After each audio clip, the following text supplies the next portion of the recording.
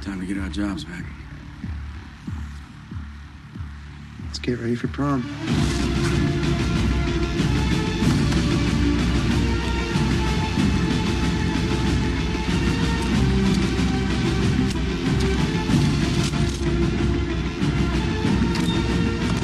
Hey, chore time. Mom, we don't have time for chores right now.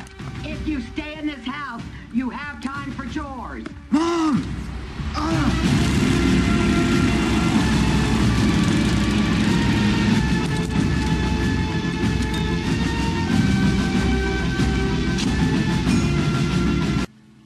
Are we really gonna take down a whole drug operation by ourselves? I got some contacts that'll help us. Fly like a condor, fly like an eagle. Fly in the 85, candy painted regal. Fly like a dove, I come from up above. I'm rapping on the mic and you can call me first love. I run this house, I'm dumbing out. I can make your girl come, keep my tongue in my mouth. I'm that cold with it, 23 below with it, snowball.